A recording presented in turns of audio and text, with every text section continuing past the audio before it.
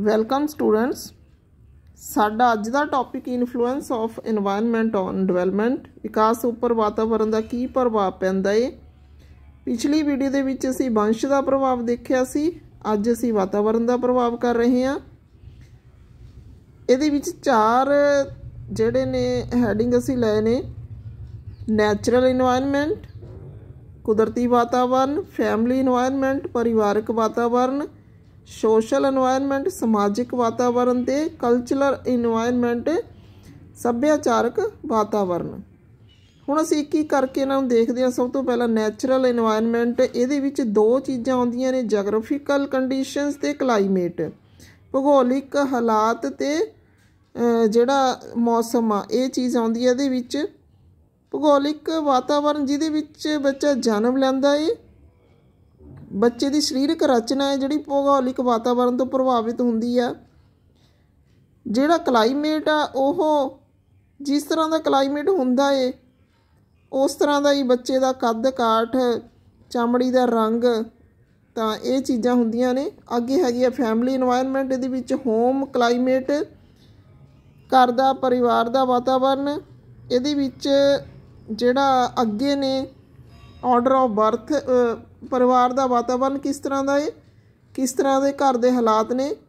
Order of birth ਕਿੰਨਵੇਂ number ਤੇ birth ਆ ਜਾਂ ਜਨਮ ਕ੍ਰਮ ਕਿਹੜਾ ਹੈ ਕਈ ਵਾਰੀ ਜ਼ਿਆਦਾ ਬੱਚੇ ਹੁੰਦੇ ਨੇ ਤਾਂ ਉਹਦੇ ਹਿਸਾਬ ਨਾਲ ਪਾਲਣ ਪੋਸ਼ਣ ਹੁੰਦਾ ਹੈ ਵਿਕਾਸ। ਪੇਰੈਂਟਸ ਪੇਰੈਂਟਸ ਕਿਸ ਤਰ੍ਹਾਂ ਦੇ ਨੇ? ਲਵਿੰਗ ਨੇ ਜਾਂ ਨੈਗਲੈਕਟ ਕਰਨ ਵਾਲੇ ਨੇ? ਨਰਵਸ ਨੇ ਜਾਂ ਖੁਸ਼ ਦਿਲ ਨੇ? ਡੋਮੀਨੈਂਟ ਨੇ ਸਬਮਿਸਿਵ ਨੇ, ਪ੍ਰਭਾਵੀ ਨੇ ਜਾਂ ਨਿਮਰਤਾ ਪੂਰਵਕ ਨੇ? ਇਸ ਤਰ੍ਹਾਂ ਨਾਲ ਪੇਰੈਂਟਸ ਦੀ ਸਥਿਤੀ ਆ ਸਾਈਜ਼ ਆਫ ਫੈਮਿਲੀ ਕਿੰਨਾ ਹੈ? ਜੁਆਇੰਟ ਫੈਮਿਲੀ ਆ ਨਿਊਕਲੀਅਰ ਫੈਮਿਲੀ ਆ, ਕਿੰਨੇ ਮੈਂਬਰ ਨੇ ਫੈਮਿਲੀ ਦੇ ਵਿੱਚ? ਫਿਰ ਹੈਗਾ only child family parental favouritism ਮਾਂ-ਬਾਪ ਬਖਰੇਵਾ ਕਰਦੇ ਨੇ ਬੱਚਿਆਂ ਦੇ ਵਿੱਚ, ਨਹੀਂ ਕਰਦੇ ਸਟੈਪ ਪੇਰੈਂਟਸ ਸਤੇਲੇ ਮਾਂ-ਬਾਪ ਕੋਈ ਵੀ ਹੋ ਸਕਦਾ ਏ।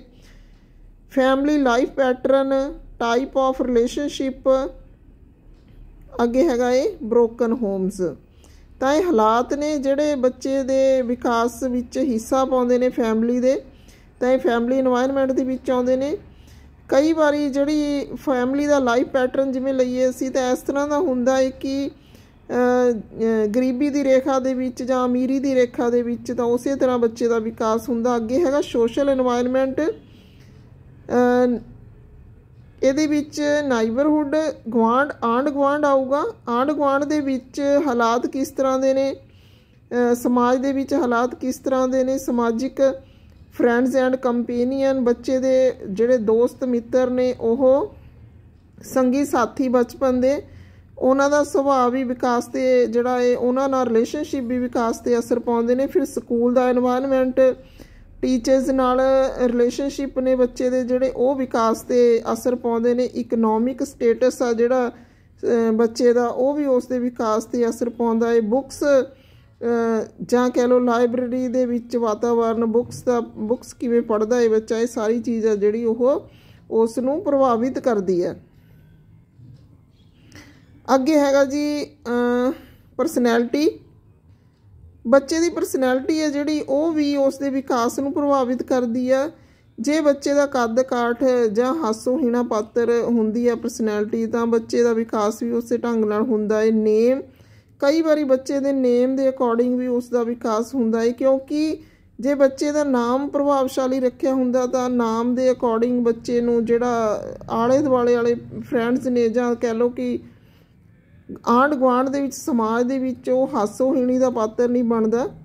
ਅੱਗੇ ਹੈਗਾ ਕਲਚਰਲ এনवायरमेंट ਦੇ ਵਿੱਚ ਦੋ ਚੀਜ਼ਾਂ ਆਉਣਗੀਆਂ ਮਟੀਰੀਅਲ ਤੇ ਨਾਨ ਮਟੀਰੀਅਲ ਮਟੀਰੀਅਲ ਦੇ ਵਿੱਚ ਤਾਂ ਭੌਤਿਕ ਵਸਤੂਆਂ ਆ ਜਾਂਦੀਆਂ ਨੇ। ਤੇ ਨਾਨ ਮਟੀਰੀਅਲ ਦੇ ਵਿੱਚ ਜਿਹੜੇ ਰੀਤੀ ਰਿਵਾਜ ਵਗੈਰਾ ਨੇ, ਉਹ ਆ ਜਾਂਦੇ ਨੇ। ਤਾਂ ਪਹਿਲਾਂ ਅਸੀਂ ਮਟੀਰੀਅਲ ਚੀਜ਼ ਦੇਖਦੇ ਹਾਂ। ਕਮਰਸ ਤੇ ਇੰਡਸਟਰੀਜ਼ ਆਉਂਦੀਆਂ ਨੇ, ਇਹਦੇ ਵਿੱਚ ਵਪਾਰ ਤੇ ਉਦਯੋਗ ਜਿਹਨੂੰ ਕਹਿੰਦੇ ਆ ਅਸੀਂ। ਇਹ ਵੀ ਵਿਅਕਤੀ ਦੇ ਵਿਕਾਸ ਦੇ ਉੱਤੇ ਅਸਰ ਪਾਉਂਦੇ ਨੇ, ਕਿੰਨਾ ਰੋਜ਼ਗਾਰ ਮਿਲਦਾ ਏ। ਇਸ ਤੋਂ ਬਾਅਦ ਹੈਗਾ ਗਰੁੱਪ ਬਿਹੇਵੀਅਰ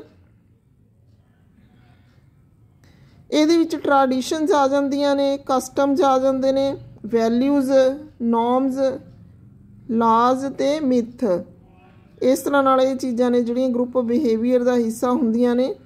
ਫਿਰ ਲਿਟਰੇਚਰ ਆ, ਸੱਭਿਆਚਾਰ ਦੇ ਵਿੱਚ ਜਿਹੜਾ ਸਾਹਿਤ ਆ, ਉਹ ਵੀ ਹਿੱਸਾ ਪਾਉਂਦਾ ਹੈ। ਵਿਅਕਤੀ ਦੇ ਵਿਕਾਸ ਵਿੱਚ ਧਰਮ ਆ, ਜਿਹੜਾ ਉਹ ਵੀ ਵਿਕਾਸ ਵਿੱਚ ਹਿੱਸਾ ਪਾਉਂਦਾ ਹੈ। ਨੀਤੀ ਜਿਹੜੀ ਆ, ਨੈਤਿਕ ਗੱਲਾਂ ਜਾਂ ਨੀਤੀ ਸ਼ਾਸਤਰ, ਇਸ ਤੋਂ ਇਲਾਵਾ ਸਾਰੀਆਂ institutions educational social economic political ਮੰਦਰ, ਗੁਰਦੁਆਰੇ ਕੁਝ ਵੀ ਜਿਹੜੀਆਂ ਇੰਸਟੀਟਿਊਸ਼ਨਸ ਨੇ, ਸਾਰੀਆਂ ਇੰਸਟੀਟਿਊਸ਼ਨ ਨੇ ਜਿਹੜੀਆਂ ਉਹ ਵਿਅਕਤੀ ਦੇ ਵਿਕਾਸ ਵਿੱਚ ਯੋਗਦਾਨ ਪਾਉਂਦੀਆਂ ਨੇ।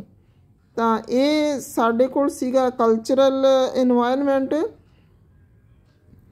ਤੇ ਕਲਚਰਲ এনवायरमेंट ਦੇ ਵਿੱਚ ਇੱਕ ਅਸੀਂ ਚੀਜ਼ ਲੈ ਲੈਂਦੇ ਆ ਕਿ ਜਿਹੜੀਆਂ ਵੱਖ-ਵੱਖ ਕਲਾ ਆਰਟਸ ਨੇ ਜਾਂ ਇਸ ਤੇ ਹੋਰ ਸੰਗੀਤ ਹੋ ਗਿਆ, ਨਾਚ ਹੋ ਗਿਆ, ਸਾਰੀ ਚੀਜ਼ਾਂ ਜਿਹੜੀ ਵਿਅਕਤੀ ਦੇ ਵਿਕਾਸ ਨੂੰ ਪ੍ਰਭਾਵਿਤ ਕਰਦੀ ਹੈ। ਤਾਂ ਅੱਜ ਦੀ ਵੀਡੀਓ ਜਿਹੜੀ ਸਾਡੀ ਇਹ ਵਿਅਕਤੀ ਦੇ ਵਿਕਾਸ ਵਿੱਚ ਵਾਤਾਵਰਣ ਦਾ ਕੀ ਪ੍ਰਭਾਵ ਆ?